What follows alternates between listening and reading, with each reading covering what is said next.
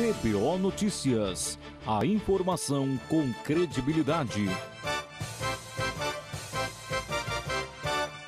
Na gestão do governo do estado de Mato Grosso desde o início do plano governamental, o secretário-chefe da Casa Civil, Júlio Modesto, parte agora para uma nova missão deixa a pasta e volta à iniciativa privada. Venho há duas semanas conversando com o governador a respeito da minha saída, porque na verdade eu presenciei recentemente a contratação de um CEO para um grande grupo chinês aqui no Mato Grosso, percebi que haviam oportunidades no mercado e acabei testando o termômetro do mercado. Nesta semana fechou uma proposta irrecusável e eu preciso realmente voltar para as minhas origens. Né?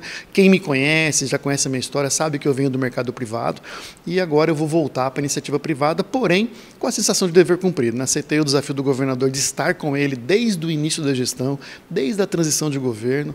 Saio de cabeça erguida pela porta da frente, deixando muitos amigos felizes e realizados por o tempo que fiquei. Quem assume a Casa Civil a partir de agora será o atual controlador-geral do Estado, Ciro Rodolfo Gonçalves. E que a Casa Civil institucionalmente continue tendo esse papel importante é, de atuar de maneira articulada com as secretarias, de maneira articulada com os poderes, com as instituições, é, e, e essa transição ela vai dar, ela se concretiza na segunda-feira porque nós estamos já há três dias já preparando esse ambiente para que na segunda-feira a gente tenha passo por uma transição e passo a atuar dentro da Casa Civil e na Controladoria Geral do Estado eu vou caminhando a transição para o novo Controlador Geral do Estado, que será um auditor do Estado também, é uma definição do governador, é um desejo dele, definição dele, que lá é de lá que nós vamos ter um talento de dentro da Controladoria para seguir também os ofícios, as tarefas que existem para 2018.